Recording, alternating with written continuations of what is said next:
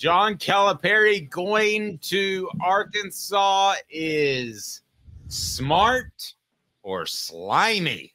What say you, Caleb Calhoun? It's smart. I mean, it's smart because you know that given his buyout, Arkansas probably opened up the checkbook to get him. And quite honestly, the pressure won't be there the same level it is at Kentucky, even though Arkansas is a good has a good basketball history. He can. He already has. Arkansas wins titles usually by recruiting Memphis kids, and Calipari already has a lot of connections there. Mm-hmm. So, I think this is actually very smart by Calipari, and he'll be appreciated more there. Kentucky, I can't call it slime because Kentucky wanted him gone anyway. So I think all around it was smart and it's a win-win for everybody involved except for the other SEC schools who may lose their coach, which we'll get to in a little while. But yeah, I think it was smart. Okay, I'm going to adapt a little bit. I'm going to say John Calipari's move to Arkansas is smart and savvy. And then John Calipari's move to Arkansas is slimy and scared. Because I think there is a little bit of fear factor that goes into this. The fact that those – oh, those terrible Kentucky fans are so hard on me, and they're wearing bags over their faces, and they're they're holding up signs that I shouldn't be their coach, and it hurts my feelings. I think it's a sign of a guy who's ready to throw in the towel and and give up. And at 65, if I'm Arkansas, that would concern me. I mean, is he still as driven as he used to be? Was he ever incredibly driven because of his relationship with Nike that made his job so much easier? Trust me, we've and Caleb, you have too you've been in jobs where you have a good relationship with the right person in the business, and it makes your job that much easier. Calipari's been in that situation.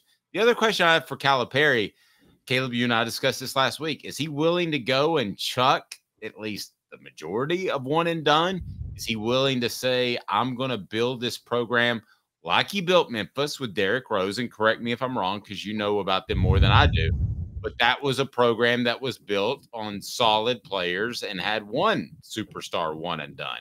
Does he go back to that model, which he got away from at Kentucky? Does he really change anything, or is he playing out the string like Rick Pitino, his mentor, is?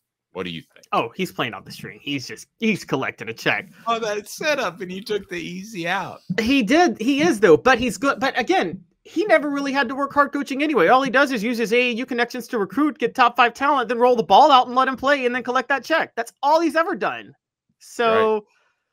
I don't know if it'll be the same because Kentucky's not Arkansas is not Kentucky. So maybe he'll get two one and duns instead of five in a starting lineup every year. But yeah, no, he's he's still collecting a check. It's John Calipari. Okay, guys. It, it's the best. He is the smartest PR person that I've ever seen in the way he plays to the media because he makes you he makes it sound like he he he comes across like he knows more than you about everything when he talks to you but he doesn't and it's he's very skilled at that almost like a almost like a derek dooley style but if derek dooley could win and recruit at an incredibly high crazy level uh, that that would be him i thought it was very odd the timing of it. And you talked the ultimate finger up to Kentucky. It, it, definitely was. And I just go back to when that hiring was made from the University of Memphis. Didn't you think it was going to end this exact way? Mm-hmm. That he would just bolt at some point because he wouldn't feel as appreciated. I mean, the chances of him going and winning three or four titles, which it would have taken at least two to make Kentucky fans happy, was a possibility the chances of him winning no titles, I didn't think was really a possibility. But the chances of him being underappreciated, a la Steve Spurrier back in 20 or 2001, was how I saw this thing ending the entire time. Yeah, no, I totally agree. That's um, I, I won't pretend that I saw this ending. I mean, good, that's a good call by you that you saw that. Uh, I wasn't. He had issues in coaching and I saw him at Memphis. I mean, he that national title game with Derrick Rose that they lost to Kansas was all because Calipari did the worst coaching job during the final two minutes of that game. Oh yeah, he should have tackled the Kansas guy. Yeah, he should exactly. He should have tackled Mario Chalmers. Um, so with that in mind, I think Calipari has. I, I didn't see this. I wasn't sure if he would win a national title, but I'm not shocked that he did. I honestly thought he would win two or three um, after he won the first one. I, I thought more was coming after Anthony Davis. So Um, I didn't fully see it ending this way. I don't know if he considers his tenure at Kentucky a disappointment. I don't know if Kentucky fans consider his tenure a disappointment. That's kind of debatable. I mean, you know, sometimes someone's so successful Well, and you, you- do wonder. I'm curious. you- I- I- If you be a Kentucky fan right now, would you be disappointed if you went and hired John Calipari and he brought you one title in what ten years? 15. Yes, I would be totally disappointed because yeah, of the recruiting he got.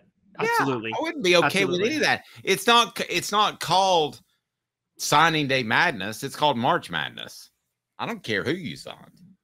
No, I totally agree. I totally agree. And he didn't deliver. Now it's funny you brought up Steve Spurrier because Steve Spurrier also only won one national title at Florida, and he only won and he would not have won that national title had the BCS existed in '96. That's kind of a funny fact about Spurrier in Florida. But the difference is Spurrier took over a Florida team that had never won anything, whereas Kentucky has standards. However, guys, no coach in the post Adolph Rupp era of Kentucky has won more than one national title at Kentucky.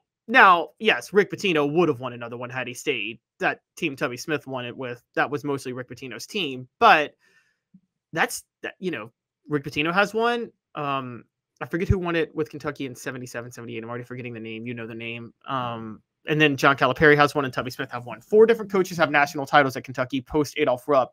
None more than one. Wait, who, who did you say again? And I can, can catch Rick Pitino, Tubby Smith, um, John Calipari, and the coach in the 70s, and I'm drawing a total blank. Was it Eddie Sutton or was it before Eddie Sutton? I think it was before Hall. Eddie Sutton. Might be it. Oh my gosh. Well, let me ask Joe, yes, Joe B. Hall. Joe B. Hall. Yeah, Yes. Does Calipari make this push, make this move if Eric Musselman doesn't get the surprise offer from Southern California and the surprise move? I mean, that because it's not two SEC schools, that's not as newsy and sexy, salacious wise, but it was a pretty big deal for him to go from Arkansas to Southern California. Is Calipari putting out these feelers anyway? Is he going to try to go somewhere even without Musselman moving? I don't think so. I think Arkansas made the offer. I think this was Arkansas making the offer. I think he would next year, but I think it kind of just fell into place this year. Yeah, I totally agree. No, this was totally Arkansas making a, I think, an advisable offer. But you know, Arkansas has been chasing the ghost of Nolan Richardson, even though Nolan Richardson is alive. But they've been chasing his ghost for 20 years because, like you said, Yeah. they thought they were bigger than him. It's the show And- where we kill basketball coaches. I think uh, Ah, we got rid of Wade Houston and, and Nolan Richardson. Um, Arkansas. can't compare those two coaches. Yeah, Arkansas. Where do you where do you rank that as the best job? Would we agree that Kentucky's the best job anymore? It's still the best job, probably. But like, I don't know if Arkansas is ahead of Alabama. I think Alabama they invest in the program, and there's a better appreciation for just going to the Final Four with what Nate Oats does. So What about Texas?